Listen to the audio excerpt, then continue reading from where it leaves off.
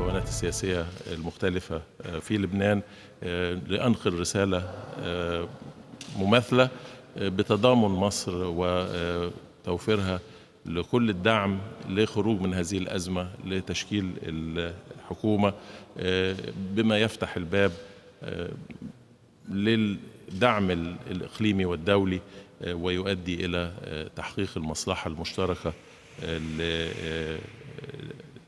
لدول المنطقة ولكن في المقام الأول للشعب اللبناني الشقيق.